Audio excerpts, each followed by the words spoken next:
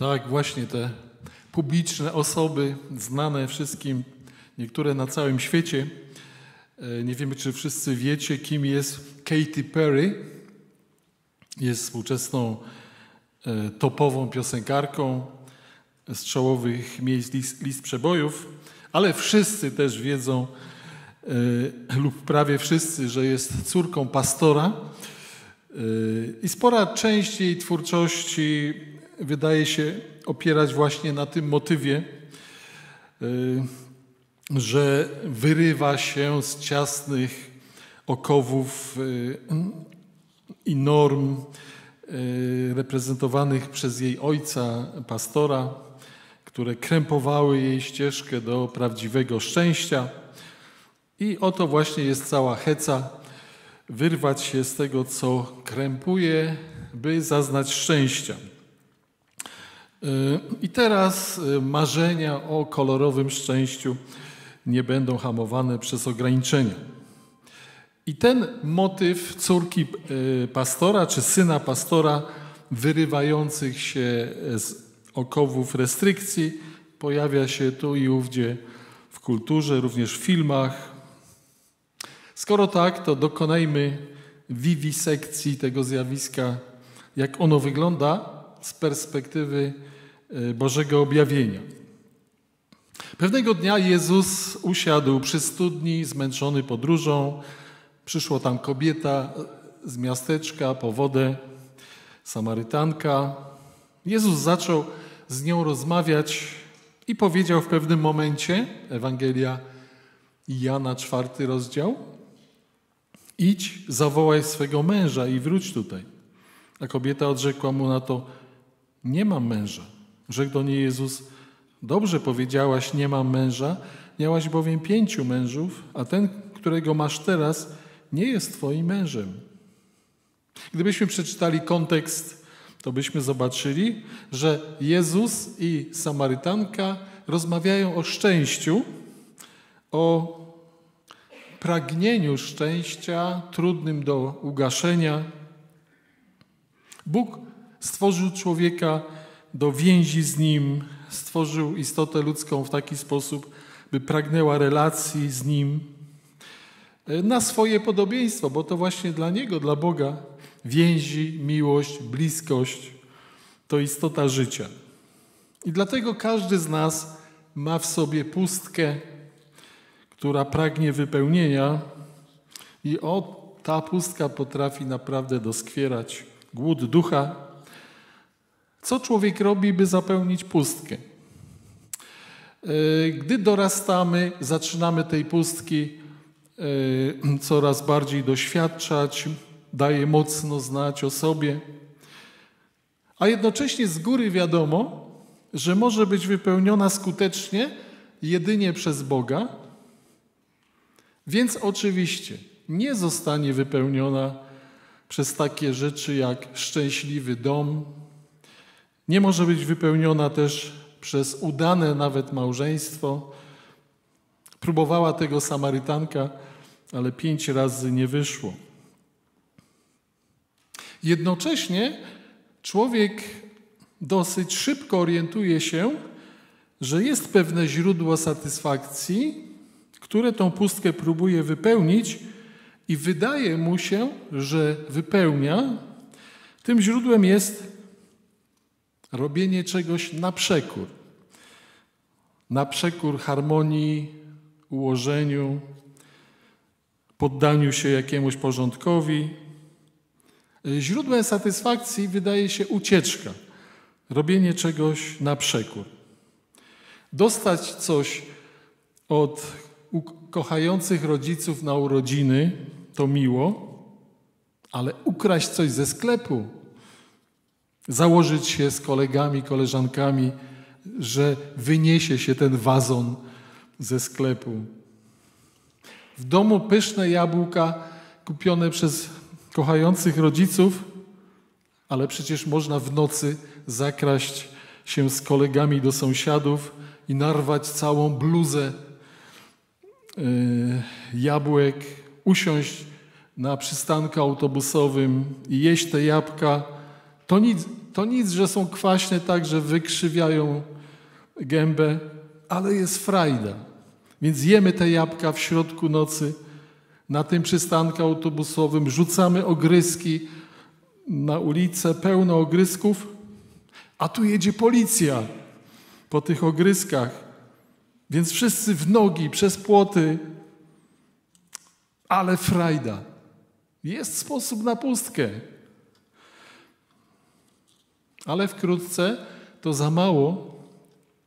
Jest potrzeba coraz większych wrażeń, coraz silniejszych bodźców, bo to jest tak, że dotychczasowe już nie wystarczają. Co robią ludzie, by wypełnić pustkę swojego ducha? Kradzione jabłka to za mało. Zobaczmy, co robią mistrzowie zaspokajania pustki życia. Zobaczymy to w kolejnym odcinku listu do Rzymian, pierwszy rozdział od wersu 25.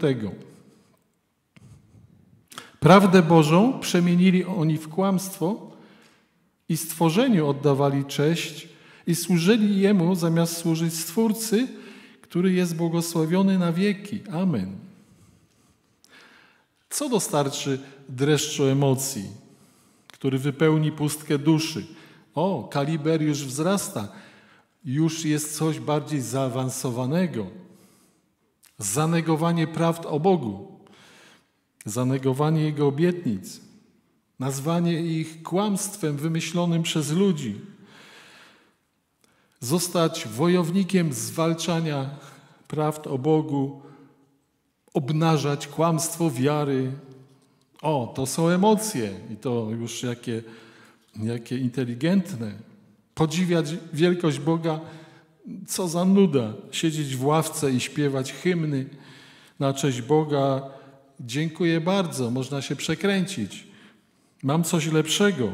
Zanegowanie tego wszystkiego. Zamiast Boga mam idola, on jest moim Bogiem, do Niego idą moje westchnienia, dla Niego się ubieram, dla Niego chcę się zmieniać, dla Niego nawet chcę być lepszym człowiekiem. I teraz czuję, że żyję.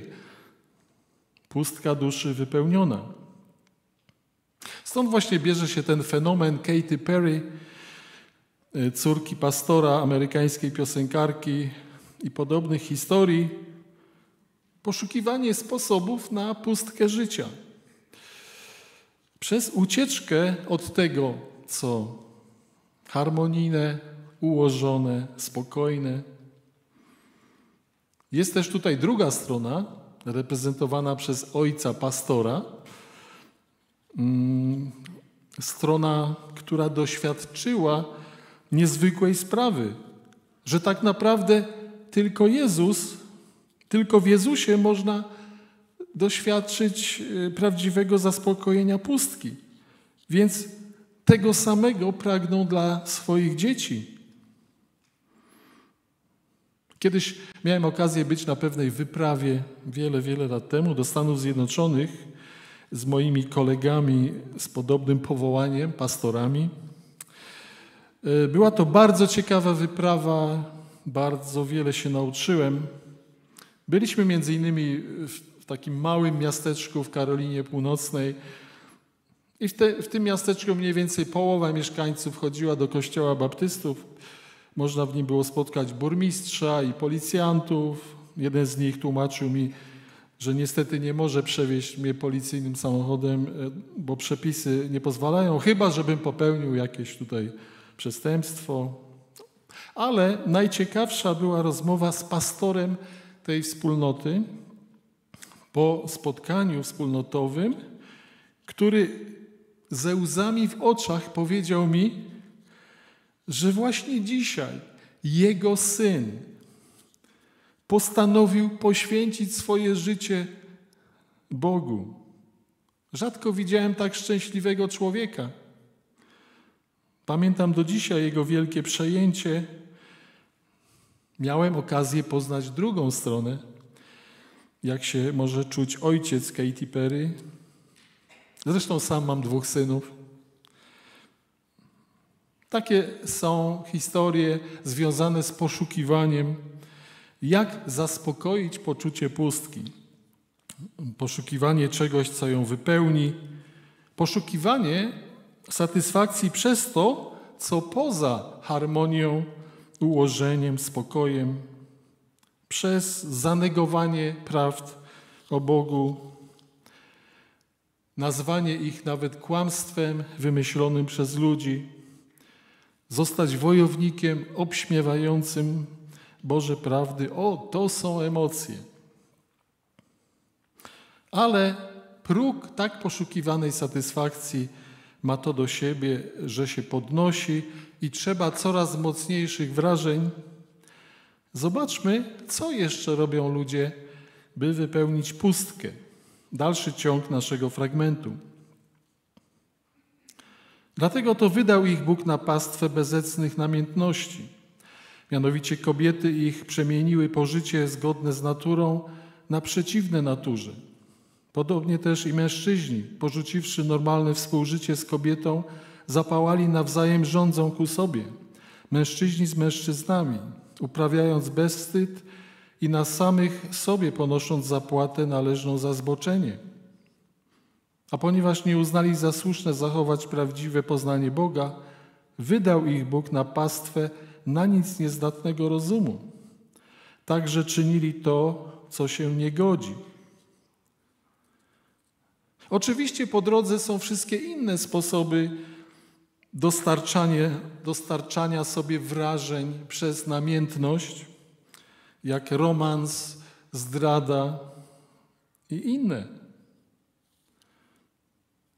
Tutaj też dowiadujemy się, że e, w tym poszukiwaniu źródeł satysfakcji człowiek w końcu gubi Boga, w tym znaczeniu, że Bóg przestaje go ochraniać e, przed nim samym, przed własną naturą.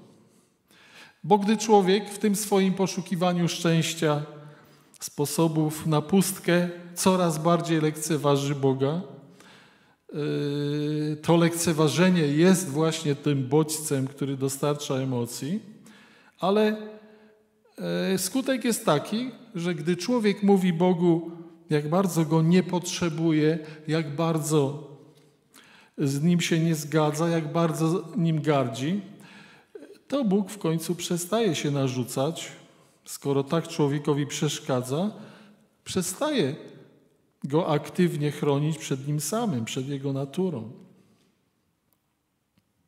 Ale na tym oczywiście nie koniec.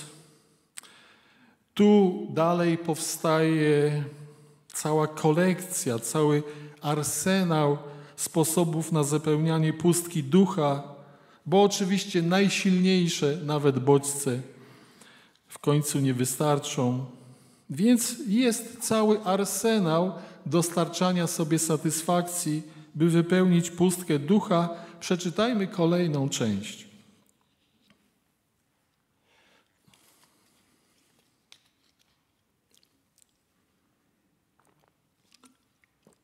Gdzie już jesteście? W połowie? Ale może zaczniemy od początku. Pełni są też wszelakiej nieprawości, przewrotności, chciwości, niegodziwości, oddani zazdrości, zabójstwu, waśniom, podstępowi, złośliwości, potwarcy, oszczercy, nienawidzący Boga, zuchwali, pyszni, chełpliwi, w tym co złe pomysłowi, rodzicom nieposłuszni, bezrozumni, niestali, bez serca, bez litości, oni to, mimo że dobrze znają wyrok Boży, iż ci, którzy się takich czynów dopuszczają, winni są śmierci, nie tylko je popełniają, ale nadto chwalą tych, którzy to czynią. Każda z tych rzeczy jest dodatkowym źródłem satysfakcji, wypełniającym pustkę. I każdą z nich można by dogłębnie omówić, przeanalizować, jak przynosi satysfakcję, ale może wystarczy, jak przejdziemy po wierzchu, chociażby chciwość. Chciwość, skrajne oddanie serca, chęci posiadania jakiejś rzeczy, obiektu pożądania, materialnej wartości czy pozycji, to potrafi wypełnić pustkę, przynajmniej na chwilę. Podobnie zazdrość może nieźle motywować do życia. Dlaczego mój brat osiągnął sukces, a ja nie? I tak dalej. Niektóre rzeczy są naprawdę przerażające, ale dla tych, którzy je stosują, są w sam raz, jak choćby zabijanie ludzi. Przeokropne. Jak taki hitlerowski oprawca w czasie wojny strzelał sobie rano przed śniadaniem z okna do Żydów pracujących nieopodal, albo wynalazca tortur. I na koniec znowu ocieramy się o coś, co wydaje się absurdem, wręcz niewyobrażalnym. Jeszcze raz wers 32. Oni to mimo, że dobrze znają wyrok Boży, iż ci, którzy się takich czynów dopuszczają, winni są śmierci, nie tylko je popełniają, ale nadto chwalą tych, którzy to czynią. Szydzenie z własnego wyroku śmierci, który mnie czeka. I pochwała takiej drogi, no emocje na najwyższym poziomie, jak, wręcz jak rosyjska ruletka. Doszliśmy tu do końca arsenału sposobów na pustkę przez negowanie tego, czego pragnie Bóg. Tak się przynajmniej wydaje, bo czy można wymyślić coś jeszcze? A jednak okazuje się, że jest jeszcze jeden sposób na dostarczenie sobie satysfakcji, by wypełnić pustkę duszy, jeszcze przyjemniejszy niż te wszystkie rzeczy dotąd wymienione. Jaki to sposób?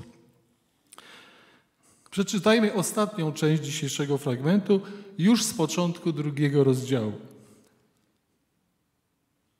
Przeto nie możesz wymówić się od winy, człowiecze, kimkolwiek jesteś, gdy zabierasz się do sądzenia.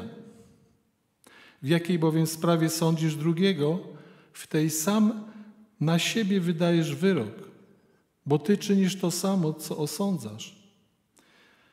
Sposób na wypełnienie pustki jeszcze przyjemniejszy. Osądzanie innych, potępianie ich. Potrafi dobrze wypełnić pustkę i to bardzo szczelnie. Ciągłe osądzanie innych. Ten jest taki, tamten owaki, oburzanie się na nich niestety jest równie ślepą uliczką jak pozostałe i też prowadzi do degeneracji. Ten sposób ma jeszcze dodatkowo to do siebie, że pozwala człowiekowi zachować dobre mniemanie o sobie i dobrze ukryć się za tą myślą: Ja jestem w porządku. Człowiek potrafi oszukać samego siebie. Co ciekawe, potrafi nawet ukryć nienawiść do Boga. Z takimi ludźmi Jezusowi było najtrudniej, by pokazać im, że mają problem, ale w końcu mu się to udawało. I gdy właśnie takich ludzi, chętnie osądzających innych, doprowadzał do świadomości, że sami nie są lepsi, Chwytali za kamienie i chcieli go zabić. Nienawiść do Boga ujawniona.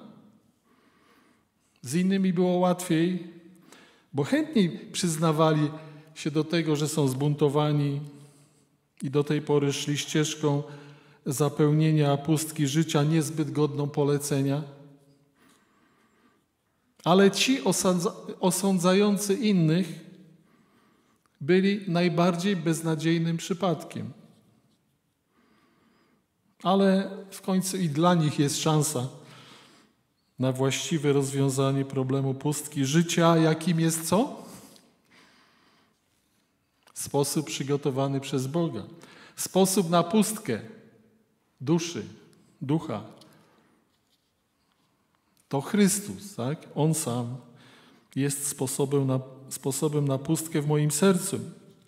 On sam, osobista więź z Nim, jest doskonałym, perfekcyjnym wypełnieniem pustki, jak trwałym, czy też na chwilę, czy na tydzień.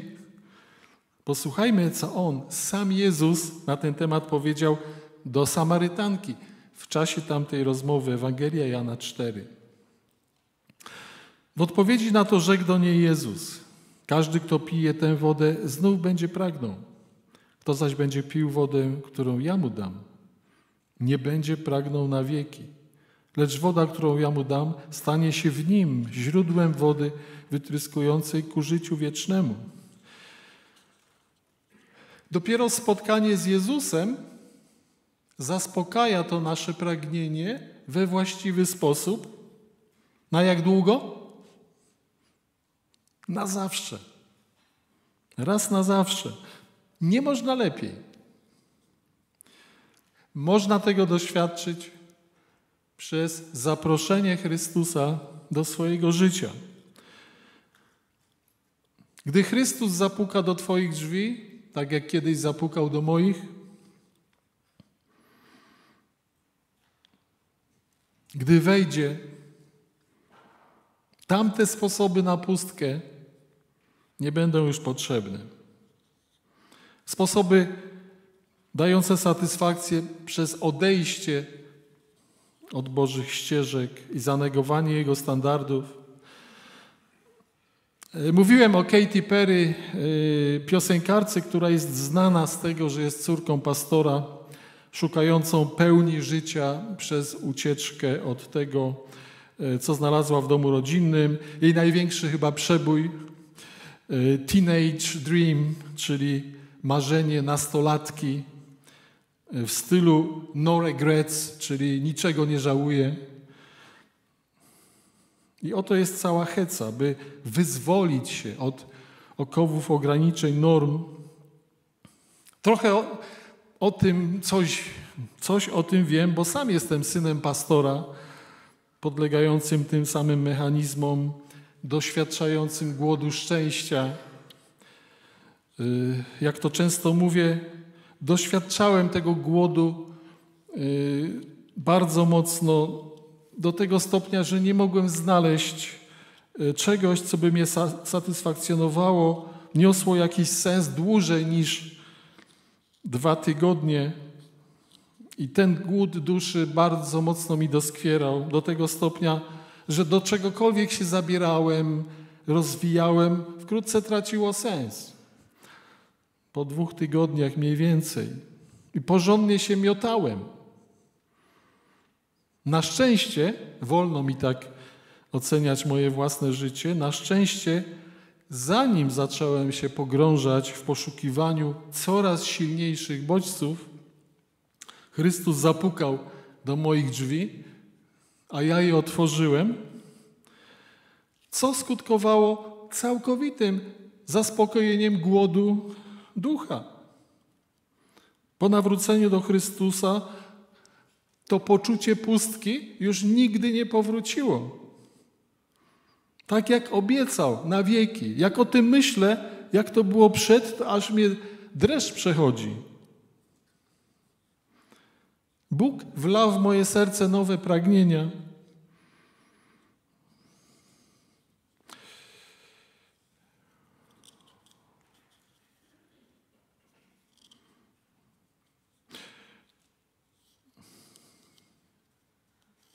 I to wychowanie w domu pastora, chociaż wiadomo, nie chodzi o pastora, równie dobrze działa w przypadku rodziców, którzy wpajają dzieciom specyficzne standardy. To wychowanie uchroniło mnie y, przed szukaniem wrażeń w wielu sposobach. Nie piłem, nie paliłem, nie ćpałem. Często w towarzystwie kolegów i koleżanek byłem jedynym nie pod wpływem a na niektóre imprezy mnie po prostu nie zapraszano.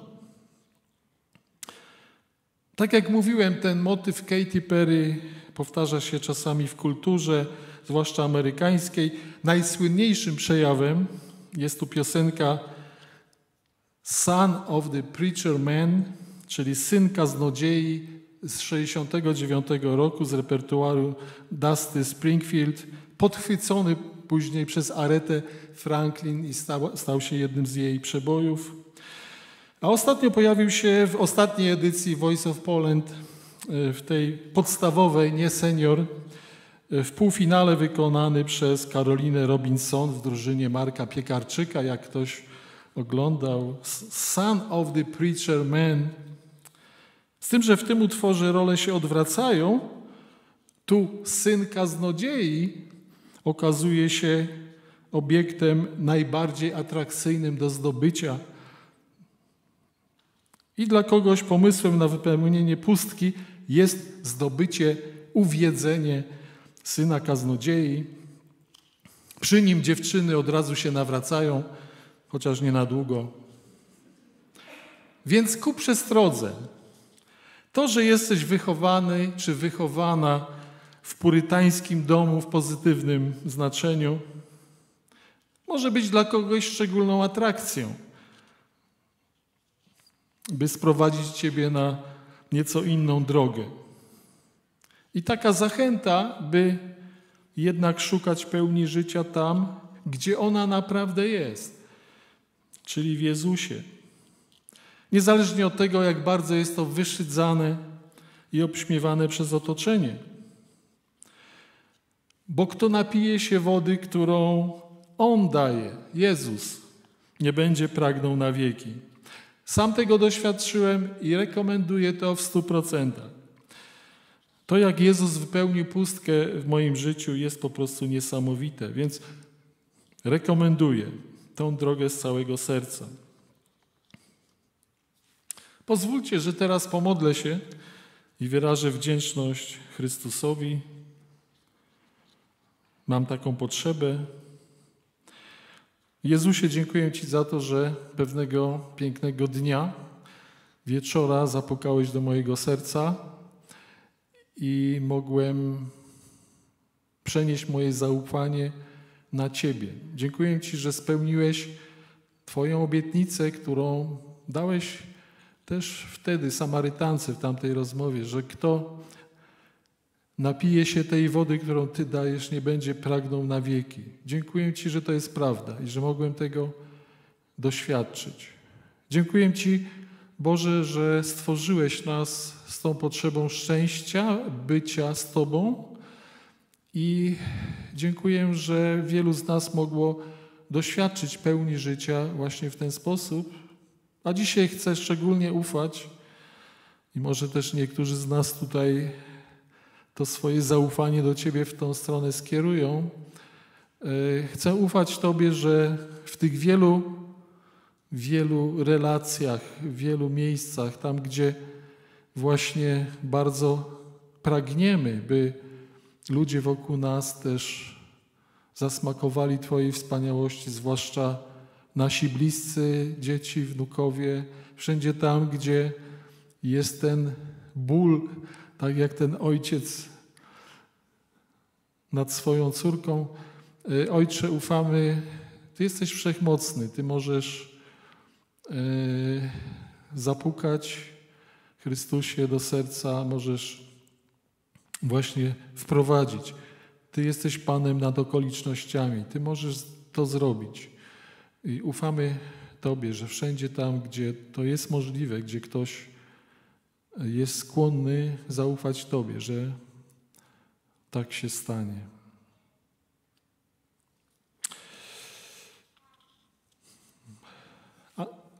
Należałoby zakończyć takim apelem: i Ty znajdź pełnię tam, gdzie ona rzeczywiście jest. Pójdź za Chrystusem całym sercem.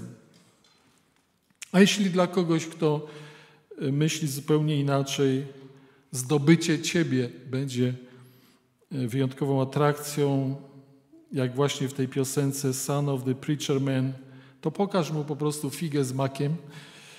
Y, niech najpierw sam poszuka pełni tam, gdzie ona naprawdę jest, i wtedy wszystko dobrze się skończy. A swoją drogą, może nasze wciąż powiększające się środowisko muzyczne skompon- skomponuje kolejne dzieła w stylu Son of the Preacher Man, jakiś ogólna, ogólnoświatowy przebój. Dlaczego nie mogą być takie tytuły tych przebojów jak Córka pastora, Syn lidera, Córka Five Stars, Wnuk misjonarza,